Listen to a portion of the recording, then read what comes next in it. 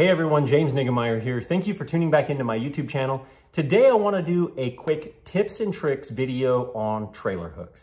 Before I get right into it, if you haven't already subscribed to my channel, please go ahead and hit the subscribe button. And if you like the content, please give me a thumbs up and drop a comment down below. So trailer hooks. I like to typically use my trailer hooks on buzz baits and spinner baits. And the reason that I would throw them is because typically we're kind of spawn, post-spawn, moving into early summer, and there's some things that the fish do, the behavior that the fish have that I feel like is more conducive towards trailer hooks. The challenge with that is I really like a trailer on my spinner baits and buzz baits, whether it's a little swim bait, a split tail trailer, a single tail grub, I really like some sort of trailer on the back of my spinner baits or buzz baits because I just feel like I get more strikes and the trailer, in my opinion, gives the fish something to focus on, direct their attention. There's a lot of movement in the blades and buzz baits with that prop. So I wanna give the fish something to focus their attention on as well as some mass. So when they suck that bait in, that plastic actually that, that, that density kind of goes into their mouth as opposed to just a hook and skirt. However, if I put a trailer hook on the back, for an example here, just kind of lacing this one on here, a lot of times when you're casting, that'll happen. It'll kind of get twisted over there, it'll get kind of hung up. So I'm gonna go into some tips and tricks about trailer hooks, when and why, and different things like that. So when I throw a trailer hook is generally because I'm just getting short bumps or I'm getting strikes where I feel like, uh, you know, I'm reeling it through the water and I feel like, boom, I get a bump and no hookup.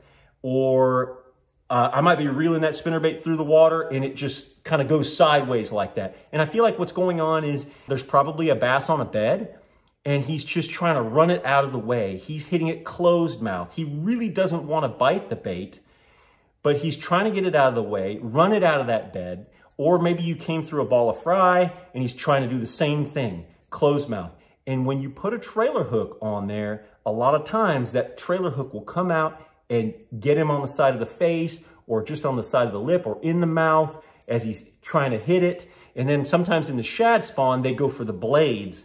And when you have that trailer hook, you can still hook them on the bottom lip. It's kind of like on, on a jerk bait. You've got three sets of hooks Bass might come for the bait, but he gets the one out here or like a crankbait or a lipless crankbait. It's another way to kind of add another level of success or degree of success to your spinnerbait or buzzbait fishing. I'm gonna go over a couple different types of uh, spinnerbait trailer hooks or buzzbait trailer hooks. You can use uh, several different types. There's a, this is a Strike King Tour grade trailer hook, and they come out in one aught and two aught sizes. Cool thing about this trailer hook is it's got this little, little rubber keeper on the top there. It comes with it on there. So this one's ready to go. And I like this typically for my, like my buzz baits. So you just take that guy and just puncture it through that plastic and then it goes on there. And this one is great because it has some rigidity to it. It kind of is not free swinging. It just it keeps it in the up position. And so if I did want to run a trailer, I could still do that. I generally like this more for my buzz baits. But I also like the free swinging type too. So if I'm running a spinnerbait like this, I can take like a two aught. This is actually an owner cutting point spinnerbait trailer hook, two aught right there. Packages are a little beat up. And it comes with a little bag of little rubber hose or tubing, plastic tubing, and they come in little sections like that. And you can just go ahead and cut them to size. I just kind of like, I like a little, little more compact size, kind of like that, if you can see that. So what I'm doing is I've just laced that spinnerbait trailer hook on there. And then I'm gonna run, um, I'm just gonna puncture it sideways. I'm not gonna put it through the hole. I'm gonna puncture it sideways and, and that way, this is never coming off. Give you a better look at that. This is never coming off. This is actually gonna stay in place, but this kind of swings more free. And the benefit to that swinging free is, let's say if you're, you're fishing, you're, you're, you're running your spinnerbait straight like this and a bass comes from the side, as it does, this hook will kind of swing free and can catch them. So a lot of times you'll catch, you know, throughout the year, you'll catch spinnerbait fish and it'll be, you'll feel like you just missed the, uh, the hook. Well, that, and then you might have them hooked on the side of the mouth or under the chin and that you think, man, that spinnerbait trailer hook did the job. He probably didn't come right for the bait.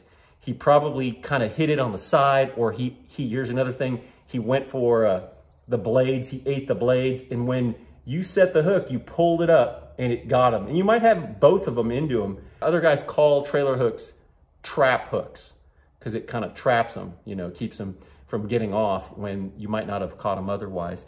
There's one more way to add your trailer hook to your spinnerbait that I feel like works well, and that's the trailer hook POW. And what comes in this package is a little metal applicator and then a bag of these tabs. They look like they're little plastic pieces, little circular plastic pieces that maybe they used a hole punch to punch them out of there, other, but they're really nice and clean. They're perfectly round. What you do is you just set that plastic piece in this hole, boom, like that. And it, it stays right in there. And then you just take your trailer hook and you just, you just lace it over the top just like you would normally. And then you got this, you take the applicator and you just run it straight through just like that. What I really like about this guy is you can kind of adjust it. You know, if you don't want it going past there, that works just like that. It's not gonna run back over that barb. Once it's on there, I feel like it's on there for good and you can catch your fish on a trailer hook. So that's another way to add a trailer hook to your spinnerbait that is very handy, very clean, and quick and easy to do. I like to try to match the trailer hook to the size of the spinnerbait. Little finesse spinnerbaits like this I, I like to, uh, you know, get a smaller one, like a size one or one aught. And then if I'm going with a bigger spinnerbait, 3 8 ounce, you know, bigger profile, bigger blades, I might go with a 2 aught or 1 aught or 2 aught, or maybe even a 3 aught. But it's important, I feel like, at least be open to the idea of throwing a trailer hook when bass are short striking or you're getting bumps. Another time that's real important to throw a trailer hook if you're fishing for spotted bass or smallmouth. They just have a tendency to want to kill their baits. They come at it weird. They come at it closed mouth. They've just got a lot of energy. They've got a lot of attitude. And so when they come at it, they come at it with speed. And sometimes they don't always get the main hook and that trailer hook can, can catch you a few more fish where you didn't otherwise have the opportunity. So really guys, that's it. Just a couple of ideas, some tips and tricks on spinnerbait trailer hooks, buzzbait trailer hooks definitely feel like there's a time and place for them. Now, if they're getting that bait all the way, I don't even throw it. I don't even put it on there. But if they're, you know, just barely on the top lip or you're getting bumped a lot, no, and you're just missing fish, you definitely want to try a trailer hook. Thanks for watching my video, and until next time, good fishing.